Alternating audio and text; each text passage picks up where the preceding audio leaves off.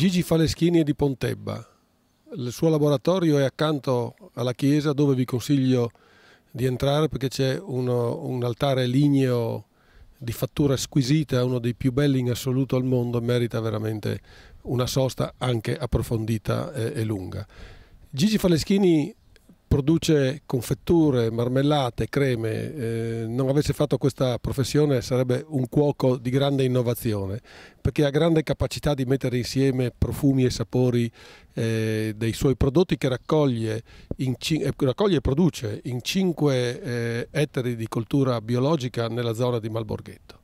E fu uno dei primi produttori eh, in Friuli di biologico, ma lui dice che la qualità della, di, quello, di, quello, che si fa sta nella propria mente, sta nella filosofia con cui si porta avanti il progetto. Dicevo della sua creatività, la sua capacità di mettere insieme eh, diversi prodotti per fare delle salse che lui eh, propone in particolare per abbinare i formaggi eh, di varia stagionatura.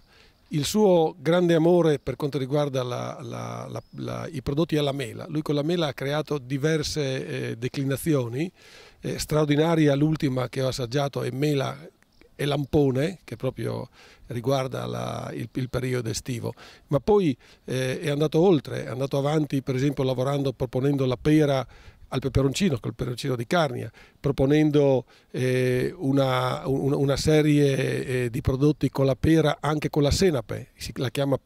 Mm, eh, pera senapata, anche questa con i formaggi un po', un po' strutturate, può arrivare fino al formaggio di Frant e va, ricordo, eh, accompagnato con il ramandolo. Ultimamente lui è anche presidente della, della, del presidio Slow Food del, del Radic di Mond